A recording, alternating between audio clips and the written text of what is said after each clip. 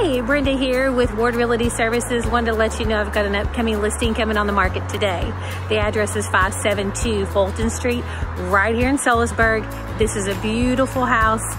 It's got four bedrooms, two and a half baths, beautiful kitchen with white cabinets.